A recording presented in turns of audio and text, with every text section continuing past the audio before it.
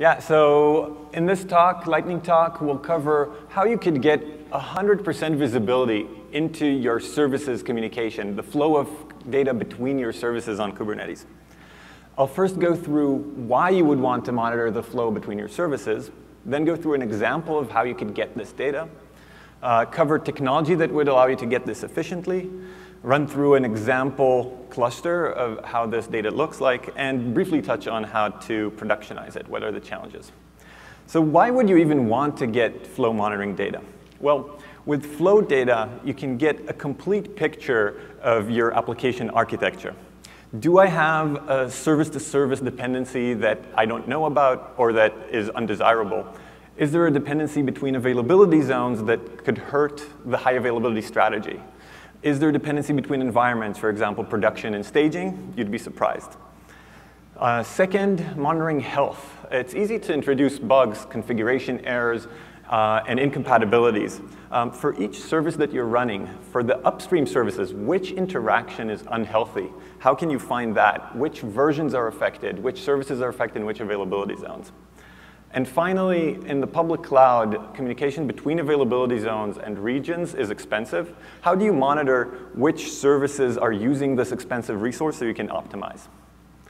Let's go through an example of how you could uh, get this flow data. Uh, so let's say you have a pod A wants to communicate to a service X, and X is backed by a pod B. Uh, in the default implementation using IP tables, uh, kubeproxy configures IP tables with this mapping of X to B. So A opens a socket to X, then IP tables maps uh, translates X's address to B's address so that B's uh, sees the connection as if it arrives directly from A. Uh, to get this flow data, you use three data sources. Uh, from the Kubernetes API, you can get the names of the pods and their IP addresses. From the socket subsystem in the kernel, here using the SS tool, you can get uh, socket information, here A to X, and also metadata on the socket. So uh, throughput, RX and TX, packet drops, round trip times. From IP tables, you can get this mapping. Here, A to X is mapped to A to B. Uh, so using these three data sources, Kubernetes API, socket subsystem, and IP tables, you can get this flow data. How do you get it efficiently? Well, um, BPF or eBPF has been around in the Linux kernel in, in the form that I'm talking about since 3.18. Uh, it allows user space programs to run code snippets on different kernel events. And so, for example, you can get, instead of going through all the sockets in the kernel, you can get just streaming updates of what changed. So it's much more efficient. And you also have access to much more data from the kernel. Uh, there are a lot of safety uh, mechanisms for BPF. Uh, for example, the BPF has an in-kernel verifier that ensures that programs cannot access invalid memory.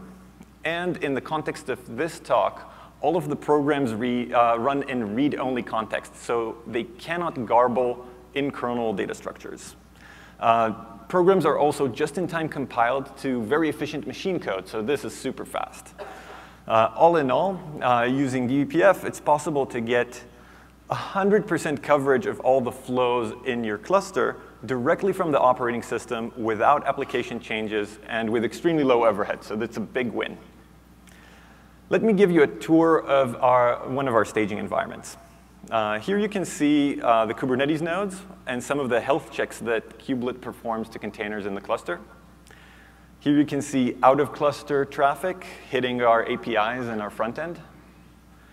Uh, and here you can see the flow analysis server and Prometheus scraping it. Uh, I mentioned collecting throughput, packet drops, and round trip time. Uh, by analyzing the time series data, it's possible to establish baselines of what the behavior should look like so the system could alert you on changes on anomalies. Uh, there are several challenges in getting such a system into production. I don't have much time, so I'll cover those briefly.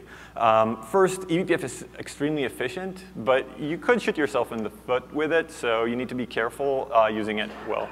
Um, network overhead, um, if you ship a lot of data out, you make sure that you do this efficiently, so compress. There are also security implication. You want the system to be real time so you can alert on it, but I mean, um, and uh, Prometheus has cardinality issues you need to tackle and more and more and more. Um, my contact details are in the bottom, so if you find this interesting, please reach out.